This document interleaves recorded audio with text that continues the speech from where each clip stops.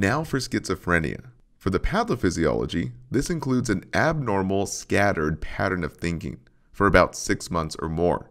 It often starts to affect relationships as well as school and workflow, as clients cannot concentrate.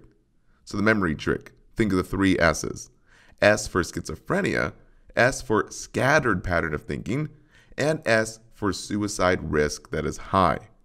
Now, for the causes and risk factors, genetics plays a huge role.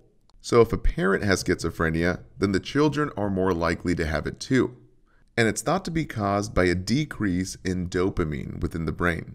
Now, for the signs and symptoms, this varies from patient to patient, but there are three main categories to know for your exams.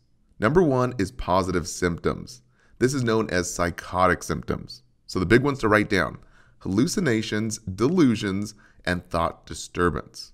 The second big category is negative symptoms, or a negative state, where the client shows lack of emotions and facial expressions.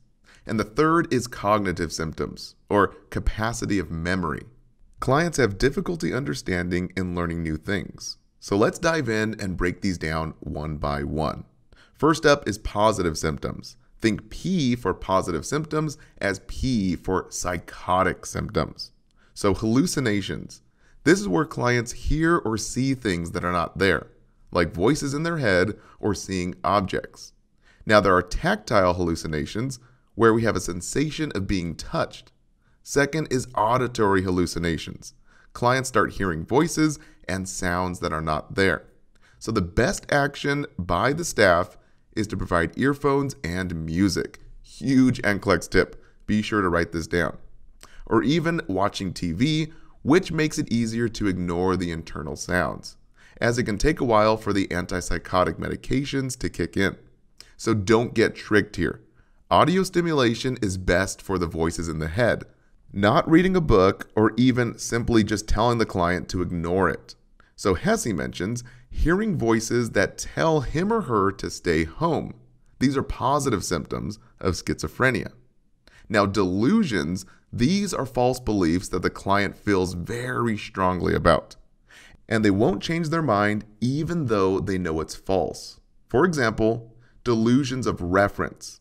This song has a secret message just for me. Big NCLEX tip. So clients will state this feeling that songs or even TV shows or news articles are a personal message to them. And delusions of control, a client might state, I do not go online. That's how the FBI controls you. Or delusions of grandeur. I have a very important meeting with the Queen today. And lastly, persecutory or paranoid delusions. The hospital food is trying to poison me. Now, you can agree that the hospital food isn't that great, but the client believes that they're being persecuted, for example, being poisoned, followed, attacked, or even spied on. So HESI mentions schizophrenia, positive symptom, delusions. And very lastly, disorganized speech and thought is our third positive symptom category. So let's identify and recognize the different types of thought disturbances. Number one is loose associations. We have flight of ideas, basically a rapid shift of thought with no logical connection. Big NCLEX tip, so write these next ones down. The universe is like a raisin, but the moon is a home and I rode my bike. You see, there's no logical connection, and we're just jumping from idea to idea. And Saunders mentions glass breaks if you throw stones. My cousin shoots guns, I live in glass houses. Now, number two is neologisms, made up imaginary words. For example, HESI mentions, I have to get away. The Vomers are coming to execute me. You see, Vomers is a made up word. Number three is clang associations, listing rhyming words together that make no sense. For example, let's go to the bay, let's hit the hay. What do you say? We can go today. All these words rhyme together, but don't make any sense. And number four is the word salad, mixing words together that have no meaning except to the client.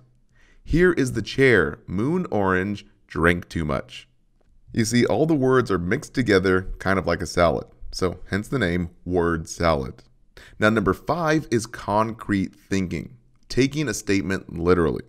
So, for example, the grass is greener on the other side.